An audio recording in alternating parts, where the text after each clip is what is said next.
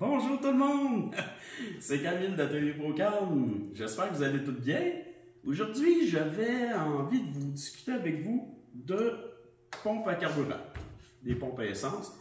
Vous expliquer qu'est-ce qu'il y en est, quels composants est inclus dans le module assemblé, et puis les rôles, puis le primordial de la capsule, pourquoi votre gauche à essence n'est pas toujours précise, puis qu'au fil du temps finit par plus fonctionner c'est une pièce usure, vous allez comprendre pourquoi que ça devient à ça avec le temps.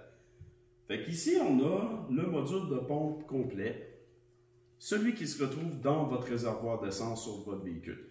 Ici, c'est un modèle pour un 850, mais ça va faire la plupart des véhicules avec un système d'alimentation à injection. La partie qui est extérieure là, avec les boyaux, le connecteur électrique qui va au harnais du véhicule. Ça, c'est la partie que tout est assemblé à l'intérieur. On a le harnais électrique qui va, lui, à partir du couvercle, aller réunir les composants à l'intérieur. Le moteur de pompe. Ici, c'est le premier filtre à essence de votre système d'injection. C'est lui qui apporte, enlève les chances d'avoir des résidus à l'intérieur de la pompe électrique.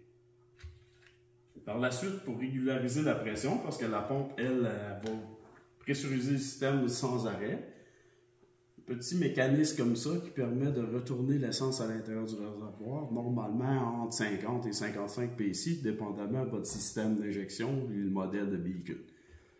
Par ce type de boyau-là, qui est inscrit sur la pompe, va dans votre circuit et retourne à la pompe et est pressurisé par cette pièce-là. On avait une question euh, ce matin sur cette petite pièce-là.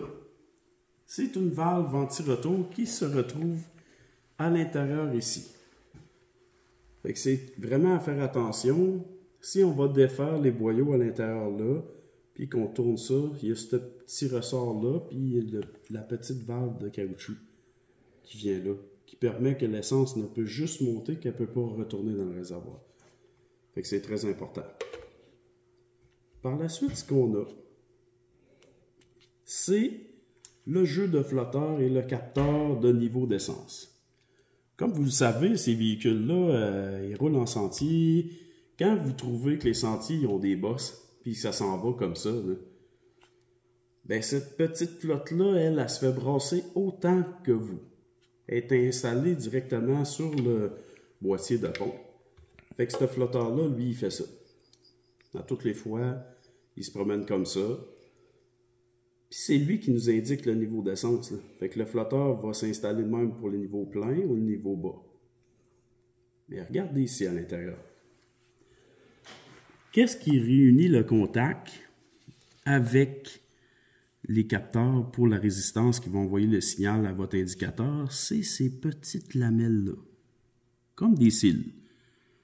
Mais écoutez, quand on va avoir des milliards de fois que ça va frotter sur les ondes du capteur, on s'entend que c'est ici, ça va user. Puis, au fil du temps, il y a moins de pression aussi à l'intérieur, parce que ça devient lâche, comme ça. c'est pour ça que la gauche à essence, elle n'a pas une durée de vie éternelle. On s'en va avec le temps, puis à force d'avoir bougé comme ça, c'est usé. Fait qu'une journée, vous roulez, le réservoir est plein, vous avez fait 20 euh, km, vous avez perdu 3-4 euh, coches, 15 euh, minutes après, elle est pleine. Ben, c'est ça. C'est la réponse à la question, c'est ça. C'est cette pièce-là. Veux, veux pas, ça peut pas être éternel, puis je vous cacherai pas que c'est peut-être pas le meilleur principe qui a été fait pour une motoneige. Dans les quads, c'est pas si pire, mais la, motoneige, le réservoir est situé sur le pont, fait que on s'en va comme ça même. Sur le tunnel, ça use assez rapidement. Fait que c'était la description pour euh, le module de pompe, qu'est-ce que ça l'inclut. Par la suite, euh, cette pompe-là a été enlevée d'un 850 e avec un drôle de symptôme. Une journée, on démarre le moteur, tout va bien, on roule. Le lendemain, euh, démarre le moteur, il arrête, démarre le moteur, il arrête 4 ou 5 fois, puis euh, ça prend du temps à réchauffer avant qu'on puisse donner de l'accélérateur. Mais parfois, on n'avait aucune pression d'essence. Puis mystérieusement, le moteur fonctionnait quand même. Même avec un cadran, avec un boyau de retour, on enlevait carrément la pression complète, puis le moteur tournait quand même. Mais le problème se situait avec euh, la pompe. Aucune pression ne pouvait être poussée euh, par, par, le moteur de la pompe, sur un ailette à l'intérieur qui est défectueuse. Fait la petite vidéo aujourd'hui, vous expliquer le module de pompe c'était quoi? Merci, au revoir!